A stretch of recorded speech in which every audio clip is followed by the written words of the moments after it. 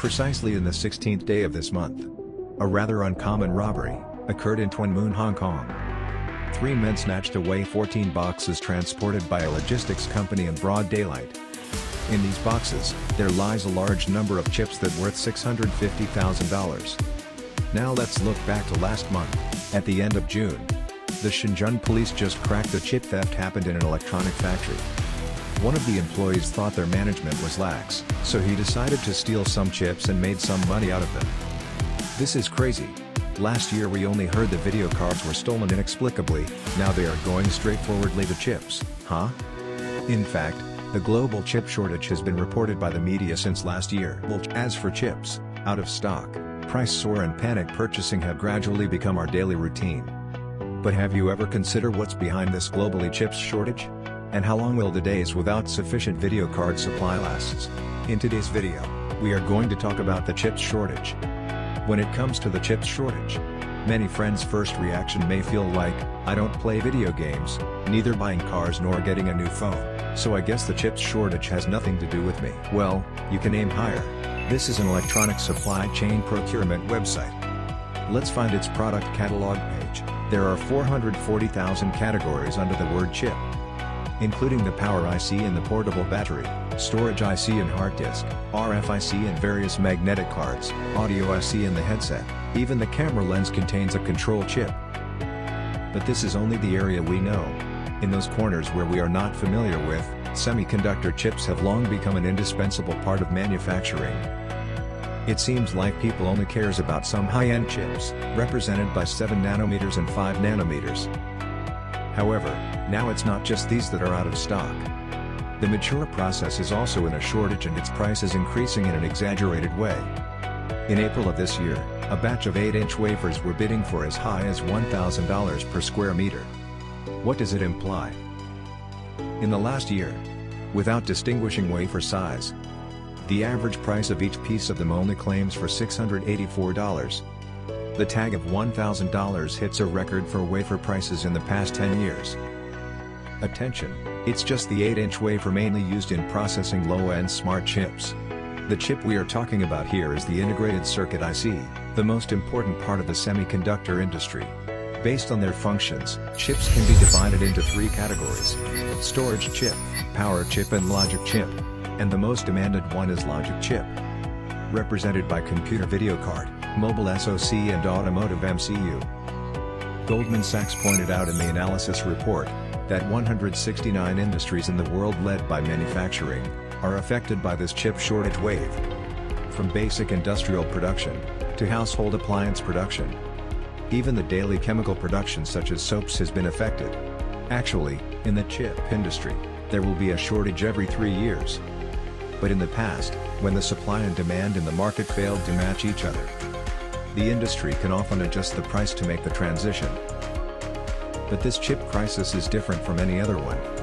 The COVID-19 pandemic has become a turning point for the chip industry. The coronavirus has hung over the globe, and the world's economy has fallen into profound gloom. Sales of consumer goods like automobiles, mobile phones, and electrical appliances have fallen off a cliff. But the modern company is very sagacious. To maximize profit, they rely on the sophisticated supply chain and compress their stock at a very low level, even zero. Chip industry is exactly the typical model of the mentioned sophisticated supply chain. If we are going to separate it based on its processing, it would be design, production and package. In the whole chain, companies such as Apple, Intel and Nvidia that have direct contact with consumers, are all design companies themselves. Once they sensed the economic downturn, they would lower the market demand. In order to avoid inventory backlog. They then sent the adjusted order to foundries like TSMC for production. Step by step, this process goes to packaging, testing and product assembly. Finally the mobile phones, CPU and video cards are handed to the consumers. But obviously, the pandemic's actual situation differs from the West's prediction. It has become a long-term trouble. People have nothing to do but working domestically, and playing video games at home, which, on the contrary, has lifted the sales of PC and game console. What's more, this year is an important year, for bountiful new games have been launched. Host Computer comes to a new generation, RTX 30 series also took a leap. Factors like these brought an abrupt increasing for electronic consumptions. Wafer production capacity is full. Everyone can go out after the pandemic got controlled, demands of cars and mobile phones started to rebound swiftly. When automakers receive surging orders, they are hurried in finding more foundries to feed these orders, only to find the goods has long been carved up by numerous tech companies. Even they are willing to pay more and add orders, the delivery date would be delayed anyway. Therefore, from last year to this moment, those automobile manufacturers who failed to catch up the market have announced to stop work, cut or even suspend the production. According to the statistics, the total losses of automakers around the globe affected by chip shortage has reached hundreds of billions of dollars. Facing the worldwide chip shortage, in order to deal with the uncertain chip supply chain in the future, automakers started overstocking these chips, increasing their inventory, the panic stocking of manufacturers made the orders far exceed the available output. The severer the upstream stock shortage was, the more orders the factories got. The production became less sufficient with the orders piling up. Output shortage led to stock shortage, the vicious cycle of chip supply and demand began. The global chip shortage wave broke out completely. This chip shortage has gradually spread to other industries from the automotive industry and some TV manufacturers that misjudged the market rose the price. Due to the chips they need were deficient. Then other home appliances such as refrigerators and washing machines also got into the similar trouble. We can conclude that the extremely unbalanced supply and demand relationship is the main influence of the pandemic exerted on the chip industry. Apple is an example that maintained demand stability when the pandemic struck. Even the latest iPhone 12 and M1 MacBook are of ample supply let alone BYD, the car manufacturer who owns their own chip production line, was able to guarantee regular car production when other rivals were suffering chip shortage. On one side are the foundries of full capacity. On the other side lies the overloading demand. Expanding chips production capacity is the only way to balance them and solve the chip crisis, and get out of the vicious circle. In fact, from 2020, wafer foundries and IDM manufacturers in the world have begun to expand their production frantically according to the estimates of the International Semiconductor Industry Association. From 2020 to 2024, there are at least 38 new 12-inch fabs will be built. 8-inch wafer fabs will also be expected to increase by 17% in four years because of the level up of analog chips demand. Well, when will these fabs can be put into use? The answer is, two years later. The construction of a fab is quite complicated. Regardless of the billions of dollars required for upfront investment, many other factors need to be considered, say, basic hydropower resources, local policies support, condition of the related supply chain, and regional talent reserves. For instance, the reason of TSMC being the strongest fab on the planet, owes much to Taiwan's semiconductor-oriented economy. The point is, it will take about two years for a new fab from construction to equipment installation. Even so, there still remains much to concern. Enterprises as strong as TSMC also have to purchase equipment. In this case, the demand for semiconductor production equipment has begun to surge with last year's expansion wave. But the problem is that, the equipment to make the equipment also required time to produce. What's more, electronic components needed to purchase from the upstream. So this chain narrower as it goes up. If we look at the semiconductor production capacity in the past 20 years, we'll notice that except for the super prosperity started in 2016, the capacity increased steadily every year. Which means in normal years, equipment manufacturers' outlet has been steady based on the orders. But abrupt expansion has panicked them. The needed parts were seriously out of stock. More than half manufacturers in Japan announced delayed delivery date resulted from insufficient components supply. It is not over yet, even if the construction can be completed in one day, raw materials are not so easy to obtain. Everyone knows that chips are made of silicon and sand, so the demand for silicon has also hit the record. The chairman of Sumco, a large Japanese silicon wafer manufacturer, stated that he might have to consider rebuilding the factory in order to satisfy the silicon orders. The original production line and capacity has long been unable to meet the demand. The same applies to photoresist, an important consumable in chip production. What's outrageous is in February this year, the Fukushima earthquake has greatly affected the photoresist production line. Thus the supply became even more tensed. whereas these are just part of the factors. Chip manufacturing is just a small process in the whole production, including the subsequent chip packaging and testing plant. The whole supply chain must be expanded. It looks like the only thing we can do now is to make through this tough period when video cards are not so easy to get. But is it really that simple?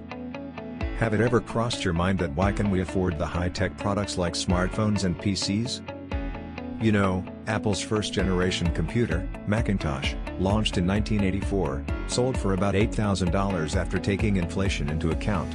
However, today, more than 30 years later, $250 is enough for a brand new laptop, and it can handle most of the basic office work.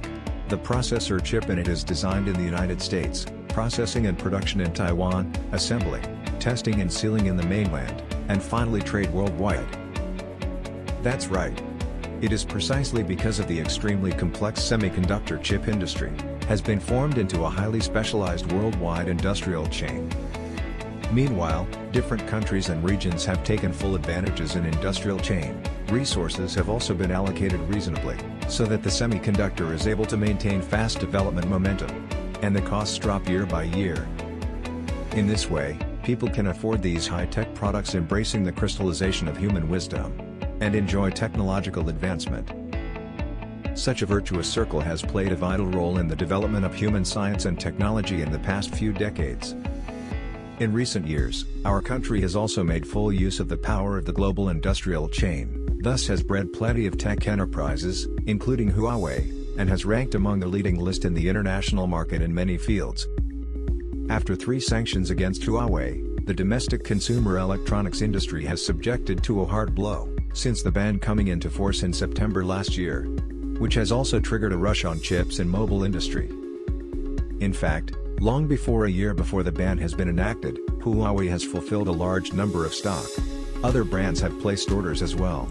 When considering the security of supply chain and the future market share, manufacturers and other industry also started to prepare more goods in panic. This made the desperate chip shortage brought by the COVID-19 even worse. How much impact does the ban have on Huawei? Very much. But it will hurt the global semiconductor supply system even harder. According to a report by SIA, $1 trillion is about to be put forward for deglobalization. To support the transition of the industrial chain, resources are no longer being used intensively, chip supply efficiency is no longer rise the same steadily as before. This will lead to costs increase from processing to the entire industry chain, and it is the consumers who are responsible for it in the end. If we go any further, the trusted system of global chip supply will collapse, a principle that all players abide by got suspended by GM. In this environment, who can guarantee that he himself is not the next party that gets banned? After Huawei was sanctioned, more and more countries and regions have to consider the safety of semiconductor supply. In fact, China, Europe, Japan and South Korea have all announced to increase fund in the semiconductor industry this year. Among them, Europe aims to complete the autonomy of the entire industrial chain in the future. In the past few decades, many enterprises in the world have enjoyed the dividends under the wave of globalization and achieved win-win. This is where today's prosperity comes from. However, it seems like now, the horn of chip war has sounded secretly. But crisis is also an opportunity. For us after-sales industry, products required to be ordered like phone display, is expected to face severe shortage and price soaring in two years. For instance, Samsung A10 displays prices as two times as before, and 6.1-inch iPhone XR display, its price mutables. As a lowball estimate, prices would continue to rise in the second half of 2021. In these chaos, nearly all orders and prices are mushrooming. Choosing a deep-rooted supplier, increasing our orders and satisfying our storage, will do more good for our business. That's all.